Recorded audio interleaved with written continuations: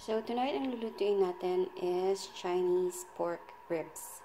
So this is what you're going to be needing. Half a kilo of pork spare ribs, ginger, garlic, green onions, tausi or fermented black bean or salted black bean. You will find this in any Asian grocery supermarket if you are not from Asia.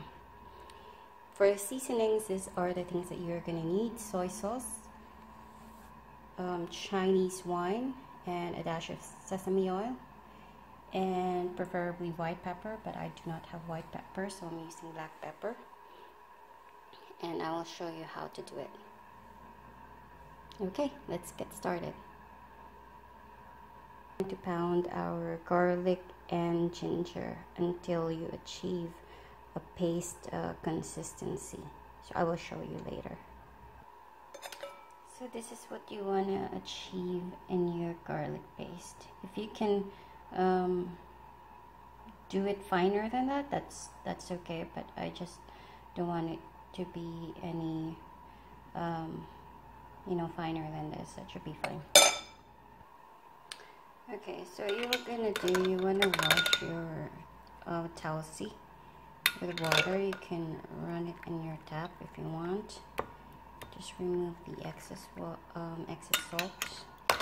Because this is overpowering overpowering saltiness niya so you want to wash away that excess salt. And then you will put it in your together with the rest of your marinade. Now so we are gonna add our seasonings Okay, so this is our marinade. I I will put all the um, measurements down in the description box, so so you don't forget. Your pork with the marinade. Just make sure your hands are clean. So I wash my hands several times before just make sure it's well coated. Use your hands and get dirty. So what I did um, I transferred it in uh, transferred it in a bowl like this. Yeah it should uh, fit right all in.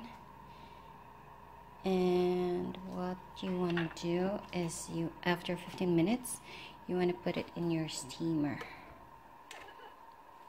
Okay. So if you do not have a steamer like this if you have like a big pot you can put like um, a pot holder like this. Put it in a big pot. Put some water inside. Put this inside you can put this uh, bowl right on top of it and then cover your pot. So the idea is to steam it. That's how you're gonna cook it. Five minutes. We'll cover this and wait 45 minutes. And I'll show you the final product later. Okay so halfway through the cooking time I made sure that the ones that are in the middle get move to the side because the steam doesn't get there. So I just make sure that everything gets cooked equally. So just move the ones in the middle on the side and vice versa. When you see something like this it's almost falling off the bone and that's when you know it's almost cooked. But I want a little bit longer so this has been in for like 45 minutes already. But I want to cook it a little bit longer because I see some red spots there. So I also want to garnish it now. So I'm going to put the green onions.